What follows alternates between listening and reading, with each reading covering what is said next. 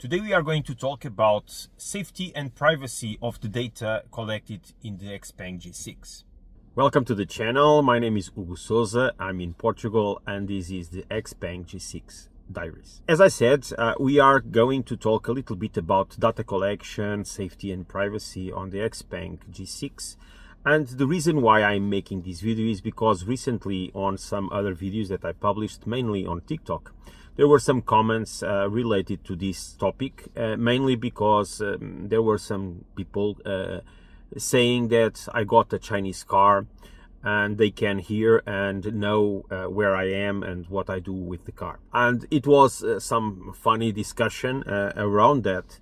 But I decided to make a video um, because I, I, I, do believe that probably many people do think that sometimes when we are buying a connected device, that someone is going to be um, getting this information um, from us and using that information for something. So first, let me give you my honest opinion on this uh, and my view on this topic before moving forward with the information from the car. I don't believe in this uh, because I don't believe in conspiracy uh, theories and also I don't think that I am special enough um, for someone, a country, uh, an agency, a government, or even a company will be interested on knowing what I do with my car, what I talk inside of it, and where I am going with it. Because I am very normal. I am a normal person. I just go to grocery stores, I go to work, I go home, I uh, talk with my kids inside my car, I talk with my wife about normal things, family things that everybody and every family uh, does exactly the same. Uh, the only difference is the language that we speak.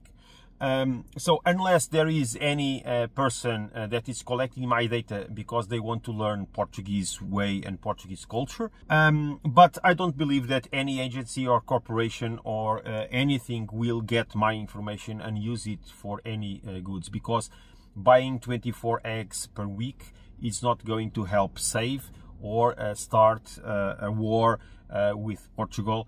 Um, so I don't think it's it's uh, important information for anyone. So this is my opinion. Again, um, no worries uh, on this. I don't feel any uh, insecure or unsafe about this topic. And um, let's go for the second part of the video that is showing what the car implements in terms of data privacy because one of the concerns and one of the comments was related to with European cars or European manufacturers we can opt out for uh, data collection. So let me show you what we can opt in or opt out with the Xpeng G6 in terms of safety and privacy features. Okay, here in the car, we just need to go to the car, to the settings, just move down here on the categories and go to general. And then in general, you can go down also and go here to safety and privacy. So if we click here, we will get inside of this um, block. Let me put this in full screen. And uh, let's see what we can uh, opt in and opt out of this. So the first part is data privacy and this is related to account information uh, on the car, if it is going to synchronize with the cloud or not. So basically you can deactivate this and your account data is not going to be synchronized in the cloud and you can even clear cloud data that it's already there. Then we have here a category on safety, but this is not related to data collection, so I will move forward on this. And then we have here one very interesting option. Here is permission on the interior microphone. So we can disable this. So we can disable uh, the permission to access the interior microphone of the car.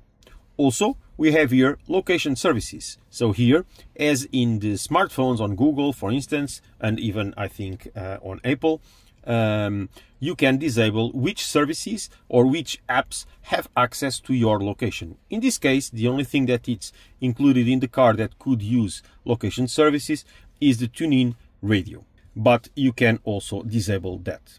Then we have finally reached analysis and improvement. So in fact, as all connected cars and all cars that use a bunch of safety measures and implements uh, some self-driving, etc., do collect data so that they can use that data to improve the systems of the car. And you can join in, so opt in or opt out of those. So the first one is related to voice assistant.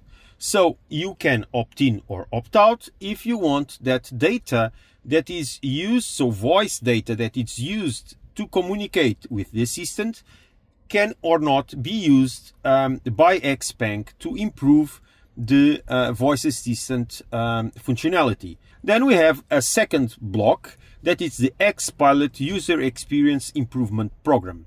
So first of all, uh, and let me just say this also on the other, there is here, we click here to learn more, that if you click, it will give you a bunch of information of what is going to be used, how it is going to be used, etc. Okay, so this is important to see. If you have any problems with that, if you are afraid of that, just read and then you can choose to join in or not. Let's go again to this one. So the user experience improvement program for the X-Pilot. So X-Pilot is what the Xpeng calls for his uh, self-drive um, uh, assistant. Um, and here, the first thing that it's very important to refer is that the system may record and upload anonymized data. You have two options here. You can opt in or opt out for one, for both, or for none. Here we have risk event data sharing. So when there is a risk event, the system will record vehicle logs and short video clips of the vehicle surrounding captured by external cameras which will be anonymized inside your vehicle before they are sent to the Xpeng. But again, you can disable. Road segment data sharing. The system will collect digital representation of the objects detected and measured in each road section, as well as your vehicle's location data where necessary to update the road information. Such information will be anonymized inside your vehicle before they are sent to Xpeng, but again, you can opt out. So as a final remark, um, as you could see, this, despite of my opinion that it's only mine, um, I do believe that most of you will be um, in total uh, agreement with me.